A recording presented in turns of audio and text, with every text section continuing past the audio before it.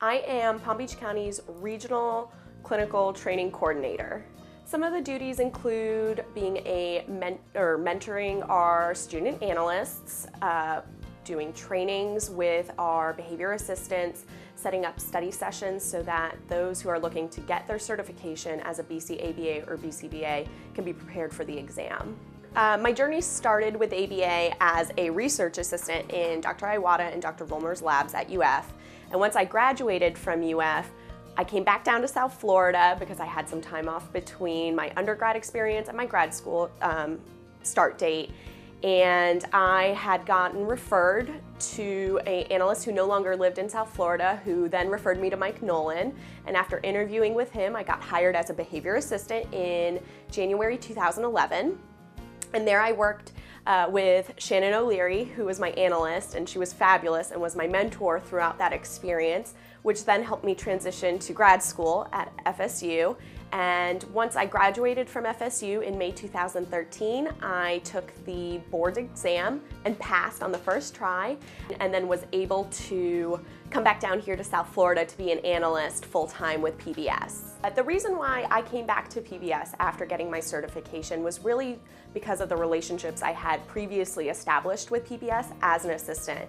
I knew that coming back to PBS as an analyst, I would have the support I would need to continue growing as an analyst because once you become certified, it doesn't mean that your education ends. You really do need to have the support of analysts who have been there before you to make sure that you're successful in the field.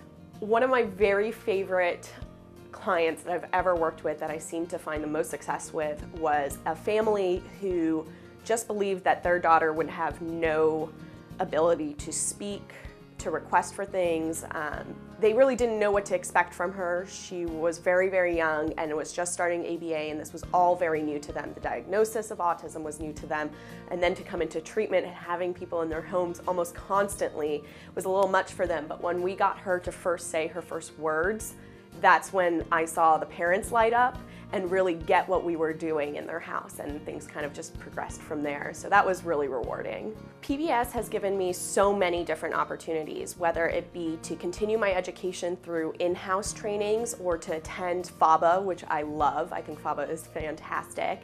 I have never missed a FABA, thankfully, because of PBS.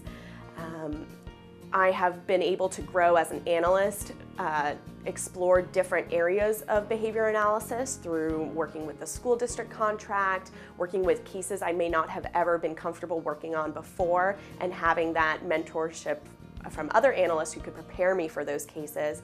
And also now as a training coordinator, I'm doing what I really love, which is mentoring those who are moving up into the field and really need the support, especially here in South Florida where we're not by a major university uh, that has an ABA program.